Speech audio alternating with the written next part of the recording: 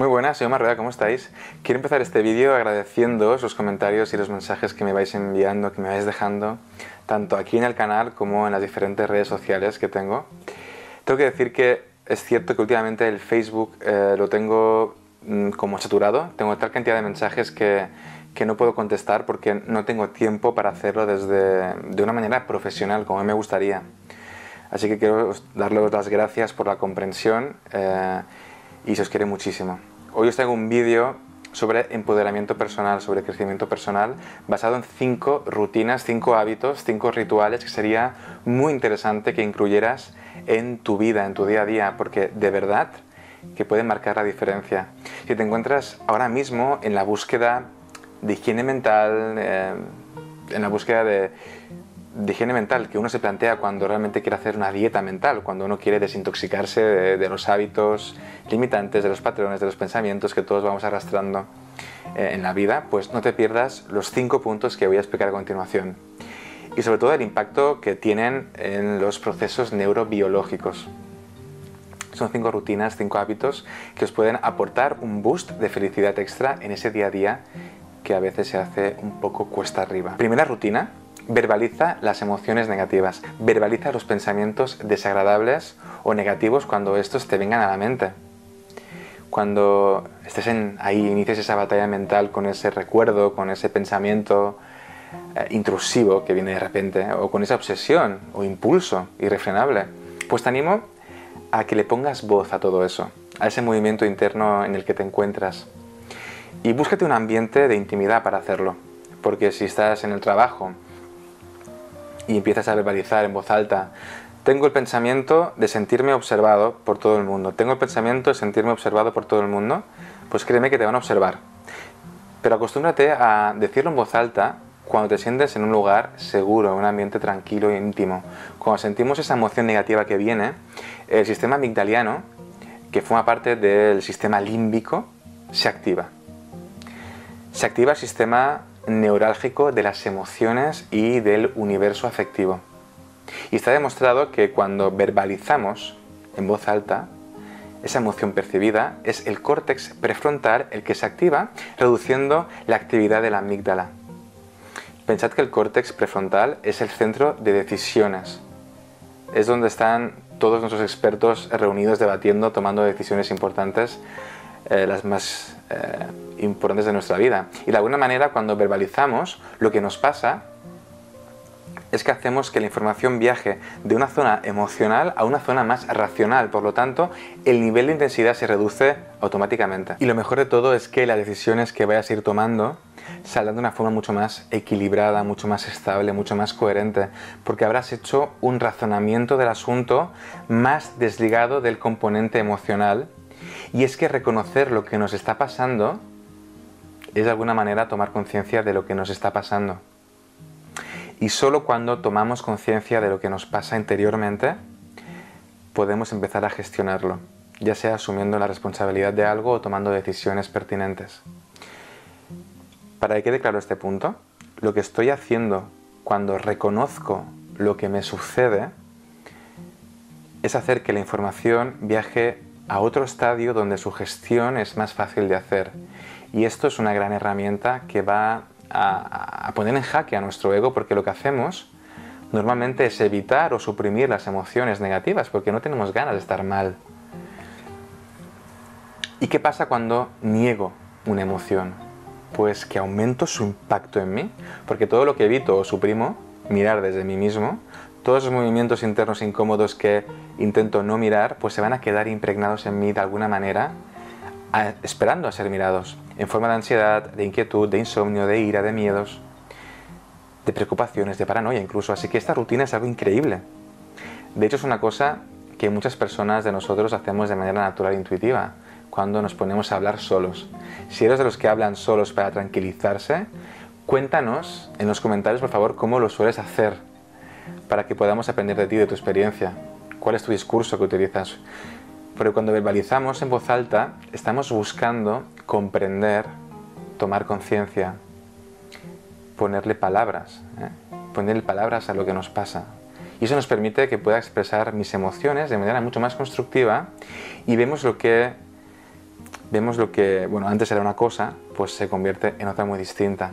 No te olvides que el objetivo en esto es ser conscientes para afinar en nuestro proceso interno de vida. Rutina número 2, haz mini paradas mentales periódicas.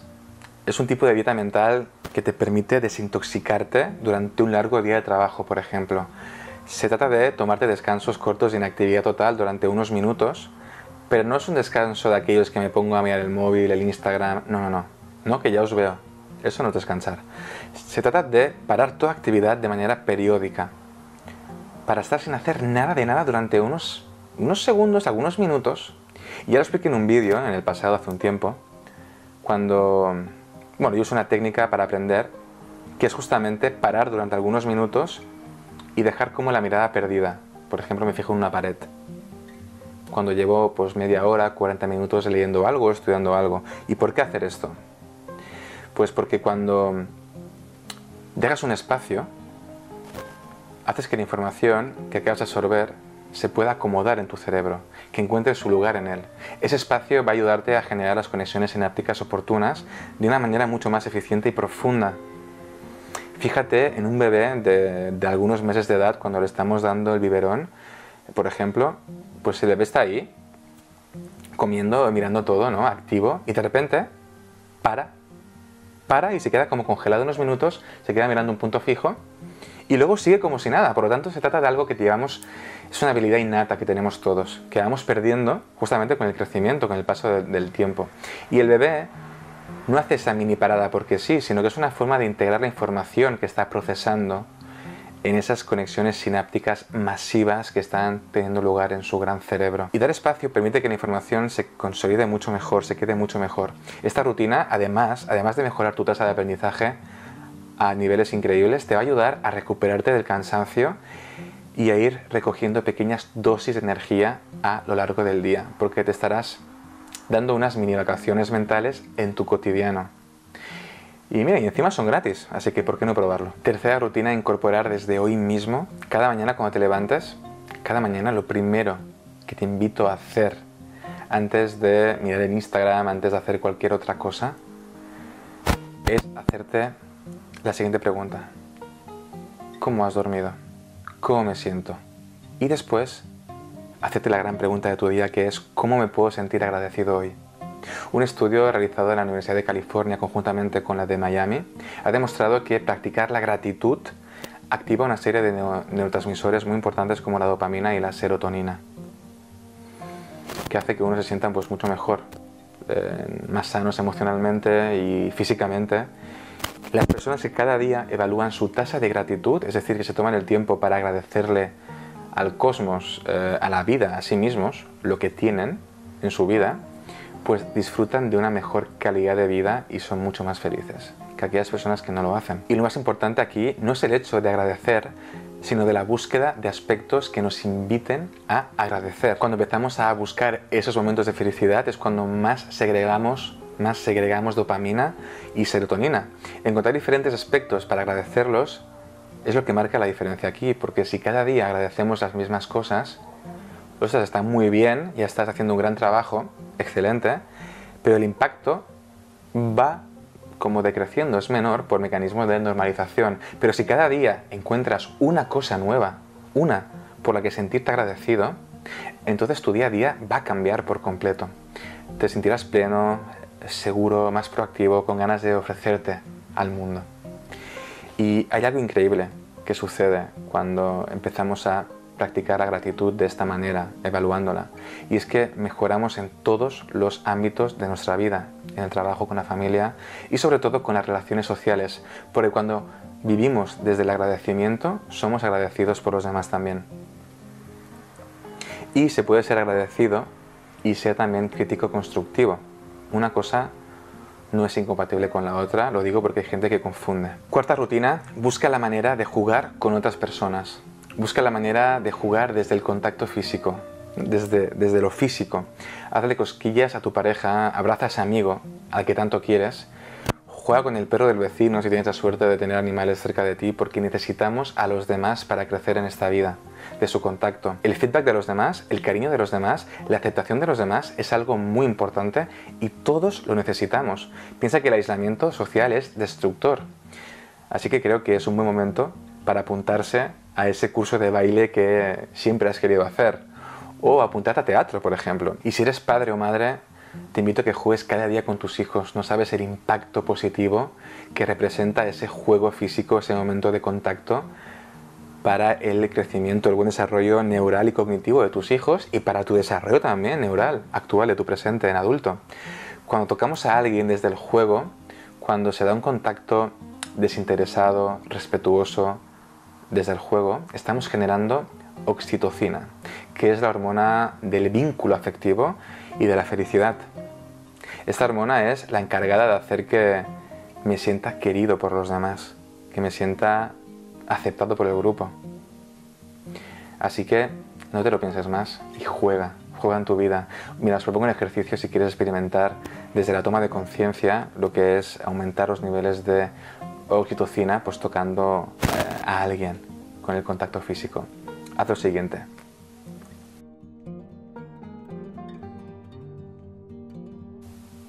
o abrázalo o pone la mano en su hombro desde su consentimiento, obviamente. ¿eh? Para un momento el vídeo y sale a tocar a alguien de manera respetuosa. Y cuando lo hagas, te animo a que cierres los ojos y notes el, afecto, el efecto que, que produce en ti a nivel físico, a nivel de sensación, porque la oxitocina es muy de sensación. Cuando lo hagas, si quieres, puedes dejar un comentario para saber lo que has experimentado tú y esa persona, porque jugar es maravilloso, pero jugar con conciencia es otro nivel porque no solo estarás jugando, sino que estarás trabajando la confianza, estarás trabajando también la reducción del estrés emocional y físico, estás trabajando el vínculo afectivo y la empatía. Y ahora, abrid bien las orejas porque lo que te voy a decir no te va a dejar indiferente. Se está demostrando que los bajos niveles de oxitocina están relacionados con los déficits cognitivos y emocionales que tienen los psicópatas y los sociópatas. Y tiene sentido porque sin esta hormona uno no puede empatizar. Así que os dejo un pequeño resumen del estudio que me he leído, que es muy interesante, en la descripción del vídeo por si te interesa echarle un ojo. Última rutina, y esta se la dedico a todos mis amigos perfeccionistas, aquellos que se te autosabotean diariamente con niveles exageradísimos de autoexigencia, a los que mando un fuerte abrazo desde aquí, porque sé lo que es toma decisiones. Toma decisiones cada día, sobre todo si tienes tendencia a tener ansiedad o a ser víctima de tu propia autoexigencia. Aquella que nos bloquea muchas veces, que nos deja en la inacción, que nos paraliza. Lo que necesitas es tomar decisiones. Mira, las neurociencias han demostrado que el mero hecho de tomar una decisión rebaja la ansiedad automáticamente además de contribuir a la resolución de conflictos. Sí que es cierto que si estás en un momento de crisis emocional importante en tu vida, muy alterado, muy desbordado emocionalmente, pues no te recomiendo que tomes decisiones importantes. La verdad es que no te lo recomiendo para nada porque necesitamos estar estables emocionalmente para poder hacerlo. Pero puedes tomar pequeñas decisiones que no impliquen grandes movimientos en tu vida para ti.